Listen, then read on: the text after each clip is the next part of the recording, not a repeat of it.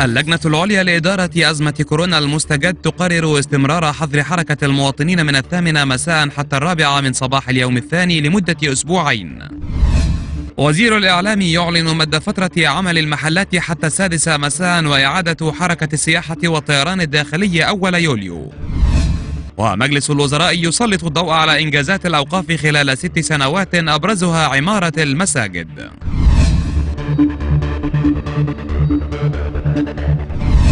قررت اللجنة العليا لإدارة أزمة فيروس كورونا المستجد برئاسة رئيس مجلس الوزراء الدكتور مصطفى مدبولي خلال اجتماعها اليوم استمرار حظر حركة المواطنين من الثامنة مساء حتى الرابعة صباحا اعتبارا من الرابع عشر من يونيو الجاري وحتى نهاية الشهر ووقف حركة جميع وسائل النقل العام من الثامنة مساء. وفي ذات السياق عقد وزير الدولة لشؤون الإعلام الدكتور أسامة هيكل مؤتمرا صحفيا لإعلان قرارات اللجنة العليا لإدارة أزمة فيروس كورونا المستجد. المزيد في سياق التقرير التالي. بسم الله الرحمن الرحيم. آه، عقدت اللجنة الوزارية الخاصة بإدارة أزمة فيروس كورونا اجتماعها صباح اليوم برئاسة السيد الأستاذ الدكتور مصطفى مدبولي رئيس مجلس الوزراء. استعرضت اللجنة خطط الوزارات المعنية المختلفة للفتح التدريجي طبقا لتطورات الوضع الصحي في البلاد. وقررت اللجنة ما يلي أولا استمرار حظر حركة المواطنين من الساعة 8 مساء حتى الرابعة صباحا يوميا وذلك اعتبارا من الأحد القادم 14 يونيو حتى الثلاثاء 30 يونيو الحالي. وكذلك وقف حركة النقل العام من الثامنة مساء يوميا. ثانيا مد عمل المحلات العامة لمدة ساعة لينتهي العمل بها في السادسة مساء بدلا من الخامسة مساء يوميا طوال نفس الفترة.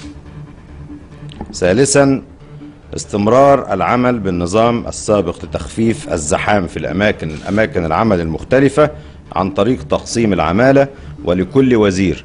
اتخاذ القرارات الإدارية الخاصة بذلك حسب ظروف العمل بوزارته.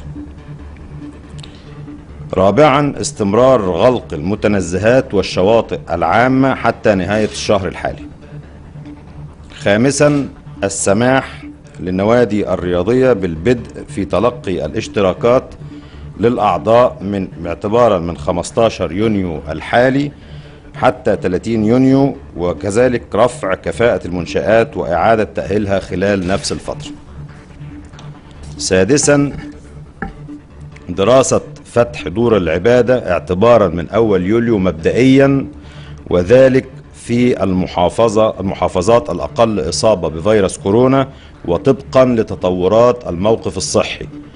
وطبقا لمدى حرص المواطنين باتباع أجراءات السلامة والوقاية الصحية في حالة الفتح. وإعادة تقييم الموقف أولا بأول. سابعا بدء السياحة والطيران إلى المحافظات الساحلية الأقل إصابة اعتبارا من أول يوليو الحالي. ثامنا عقد امتحانات الثانوية العامة في موعدها المحدد سلفا وفقا للضوابط والشروط الصحية المتفق عليها ومتابعتها يوميا حرصا على سلامة أبنائنا الطلاب.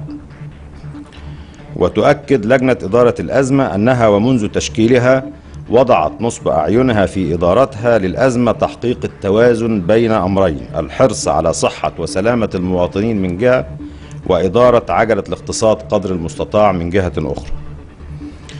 كما تؤكد أنها تتابع الموقف الصحي بجميع أنحاء الجمهورية أولا بأول وساعة بساعة وأنها وضعت خططها لإعادة فتح جميع الأنشطة بالبلاد تدريجيا في ضوء تطورات الموقف الطبي وأن هذه الخطط تتميز بالمرونة الكافية للتمشي مع أي تطور يطرأ على الحالة الصحية. وتؤكد اللجنة أيضا أن كل دولة تعمل في هذه الأزمة وفقا لظروفها التي لا تتفق بالضرورة مع ظروف دولة أخرى وقد تتفق مع ظروف دول أخرى. ولكن الثابت والمؤكد هو ضرورة اتباع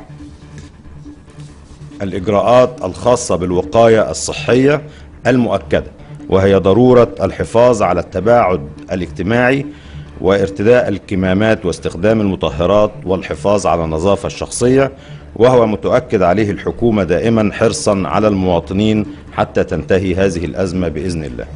والسلام عليكم ورحمة الله. نشر المركز الإعلامي لمجلس الوزراء بيانا سلط من خلاله الضوء على ما حققه قطاع وزارة الأوقاف من إنجازات خلال ست سنوات حيث نجحت الوزارة في تحقيق العديد من الجهود والإنجازات الملموسة.